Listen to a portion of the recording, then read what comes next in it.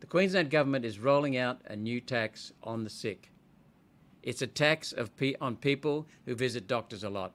Tax on everyone who visits doctors, but it's a tax especially on people who are sick, the elderly, young families, or families with young children, the people who can least afford it, the people on the median income and below. They're going to really struggle.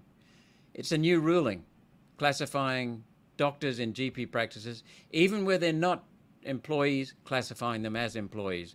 And that means it'll raise, I think, about 4.75% uh, as payroll tax. Now, Pauline Hanson and I have made it very clear that payroll tax is a, is a disastrous tax. It's inhuman, inhuman tax.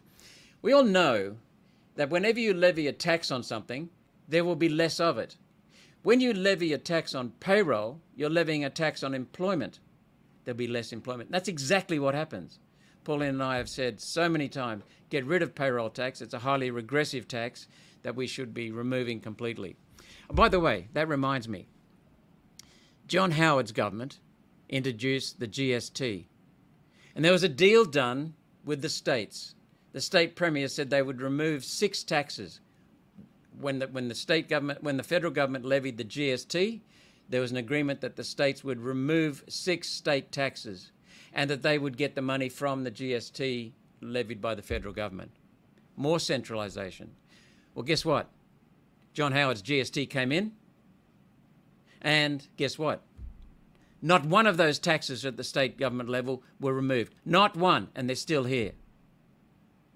Decades later, they're still here.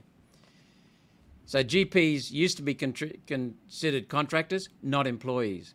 They're now going to be, even if they're continuing under that role, they're still be now levied as employees, reclassified as employees, even though it's a completely separate business. It's a tax grab from the Palaszczuk government.